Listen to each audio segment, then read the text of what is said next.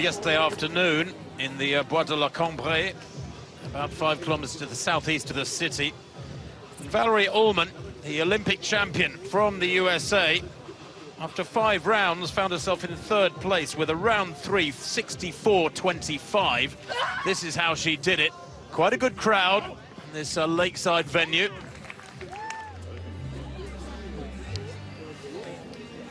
Allman, the best of her fast five efforts. Seventh in the World Championships 2019, took that gold.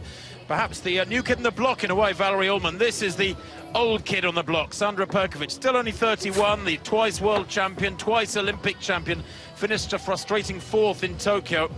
But it seems that uh, normal service resumed with a big win in Paris last week in just over 66 metres. Here, after five rounds, she found herself in second place with, again, a round three, 65-14. She's won here four times before.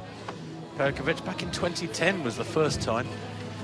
But the leader after five rounds with the round two 66-47 is the reigning world champion, the Tokyo bronze medalist, Yaimé Perez of Cuba. 30 years old now, Perez, who has been around for a long time, so often in the wake of Perkovic. Obviously able to take that bronze in Tokyo, keep Perkovic at bay and out of the medals. But that's how they got into the final three playoffs, so to speak. Allman, Perkovic and Perez with those marks.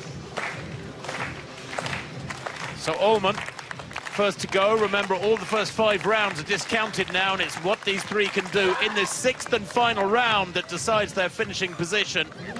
And that one from Allman with her final effort.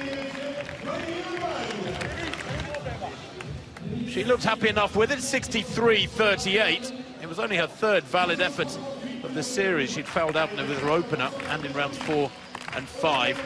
Perkovic, well, she got better and better through rounds one, two, and three, but then fouled out in round four and in round five. Remember, 65-14 had her in second place coming into this final three throw-off. And that one crashing into the netting there to the right, and no throw for Perkovic.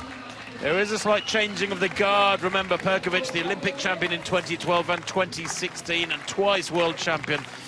Perez, though, finding herself just three centimetres better than Allman with this sixth round effort, 63-41 for the Cuban. She was the best after five rounds and the best in the final three throw-off. But uh, by the tiniest of margins. Allman, remember, 63-38.